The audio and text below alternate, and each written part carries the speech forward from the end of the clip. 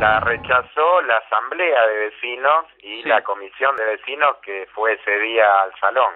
Y lo dijo el intendente en la apertura de las sesiones de la legislatura, ya lo había dicho antes, que quería hacer algo parecido a lo que está en la estación de Tigre.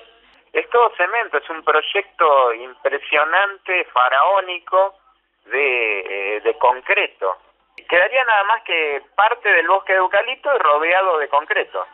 No, la propuesta nuestra es mantener eh, todo eh, tal cual está, arreglar lo que hay que arreglar, el alumbrado público, eh, las paradas de colectivo también. Nosotros tenemos pensado que sea una dársena, mejorar los accesos a, a la estación, el cuidado, las veredas, recomponer, arreglar las veredas y restaurar el casco histórico.